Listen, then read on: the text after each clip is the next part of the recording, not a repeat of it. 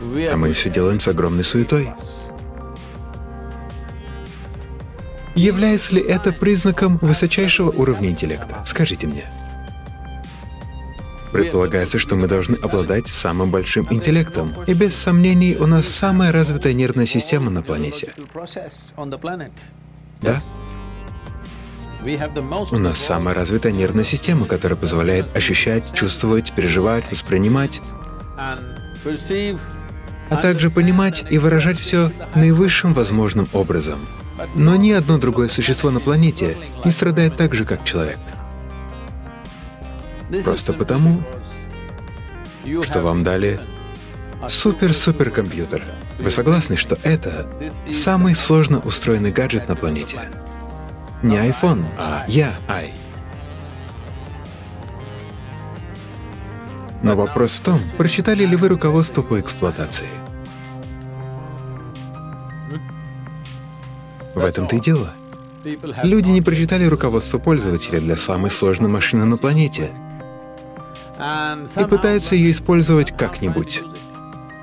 Все становится проблемой. Назовите мне что-то одно, от чего люди не страдают. Если они бедны, страдают от бедности. Сделаешь их богатыми, станут страдать от налогов. Если не образованы, страдают от этого, отдай их в школу — море страданий.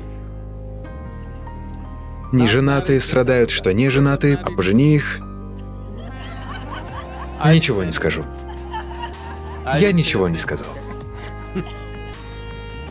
Нет детей, некоторые люди страдают от этого, есть дети — ежедневное страдание. Похоже, что вы страдаете от абсолютно всех аспектов жизни. Но если вам продолжит смерть, вы уйдете с радостью? Нет, опять же будете страдать. Назовите мне что-то одно, от чего мы не страдаем. Сейчас люди придумывают такие философии. Жизнь — это страдание. Нет, нет, жизнь — это не страдание. Но и не радость. Она просто есть — это явление. Если вы ловите волну жизни, это прекрасно. Если она обрушивается на вас, это ужасное ощущение. Поймали ли вы волну жизни? Или она подмяла вас под себя? Вот в чем вопрос. От чего же страдают люди? Простите, как вас зовут? Скай. Скай, как небо. Большой человек. Ты большой человек.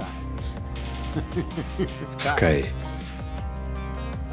Когда на тебя в последний раз нападали с ножом? Пусть даже ты и живешь в Лос-Анджелесе.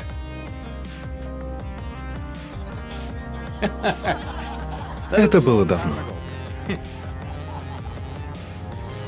Итак, я спрашиваю вас, сколько страданий человека на самом деле приходит извне? Мизерная часть, не так ли? Остальное он устраивает себе сам. Он страдает, если сидит, страдает, если стоит, страдает, если что-то случается, страдает, если ничего не случается. То есть он страдает от своих же психологических переживаний. Мысли и эмоции человека превратились в такое огромное страдание. То, как вы думаете и чувствуете. То, как вы думаете и чувствуете, разве это не должно определяться вами? Да? То, что происходит внутри вас, разве это не должно происходить так, как вы хотите?